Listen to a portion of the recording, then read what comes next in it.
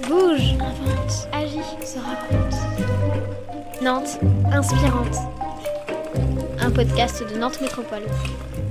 Ce qui m'a définitivement euh, poussé à me lancer, c'est que en fait, j'ai cassé le, la draisienne de ma première nièce, donc elle avait 3 ans à l'époque.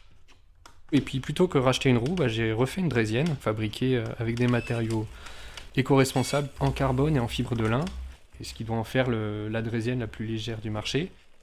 Sans doute la plus chère parce que j'ai passé deux mois à travailler à 100% sur ce vélo-là. Il a été suivi par un vélo intégralement en lin, donc euh, un cadre intégralement en fibre de lin. J'ai pris un plaisir fou à, fabriquer ces deux vélos-là et ça m'a vraiment définitivement euh, lancé dans la fabrication de vélos.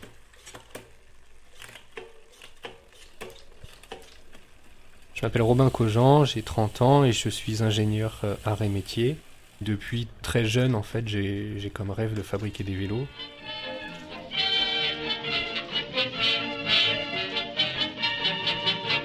J'aime bien euh, l'idée de m'inscrire dans, dans un patrimoine industriel et, euh, et le fait de faire renaître une marque ancienne, moi, c'est quelque chose qui, qui me plaît. C'est dimanche, c'est le jour des sports. Après, pourquoi Petit Breton? C'est parce que euh, Petit Breton, c'est une des seules marques nantaises qui a existé. C'est un bel hommage au coureur cycliste Lucien Petit Breton, qui a été un, un très bon coureur euh, avant la Première Guerre mondiale. Moi, quelle désillusion Un caillou, un clou, il répare, et aïe non Sur le vélo, sur le vélo, chacun veut être le plus costaud. Le vélodrome à Nantes s'appelle Petit Breton. Et euh, j'ai fait une seule course de ma vie sur, euh, sur vélodrome. Bah, il se trouve que je suis tombé au bout de quelques tours et j'ai cassé mon casque, je me suis brûlé le dos.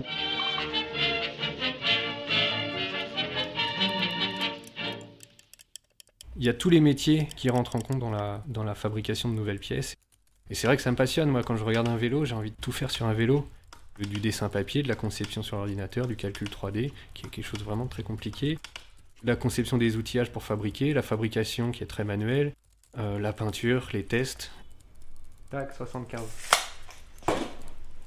L'idée, c'est d'avoir tous les métiers entre mes mains, euh, même si de temps en temps je galère. J'ai été euh, baigné dans des domaines très très techniques et avec des qualités, la qualité requise qui était absolument parfaite. euh, donc euh, des pièces de moteur d'avion qui n'étaient pas contenues si elles venaient à éclater, donc il n'y avait pas le droit à l'erreur. Vraiment, on allait très très loin.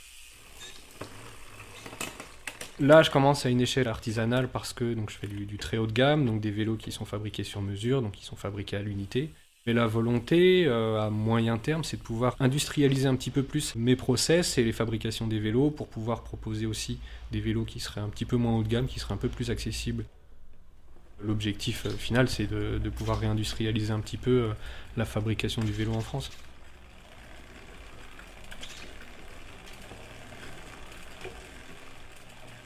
Avec de la fibre de lin qui pousse en France, euh, des résines qui sont de plus en plus biosourcées, donc avec des déchets de l'agroalimentaire, le carbone qui va être revalorisé. J'utiliserai aussi de la fibre de bambou et du bambou.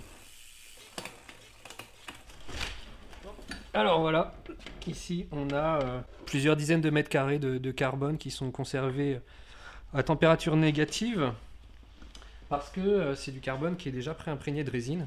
Donc là si vous touchez c'est un petit peu collant. J'ai un rêve, ce serait de pouvoir implanter une petite euh, usine de fabrication de vélos sur le, autour du vélodrome Petit Breton à Nantes. Les tribunes sont plus utilisables, mais elles sont classées. Donc voilà, on est sur quelque chose qui, qui rapporte rien, qui coûterait à remettre en, place. Mais c'est un super, euh, super endroit en plus dans, Nantes. Pouvoir mettre une petite usine euh, sans cimenter le sol, euh, ce serait pas mal.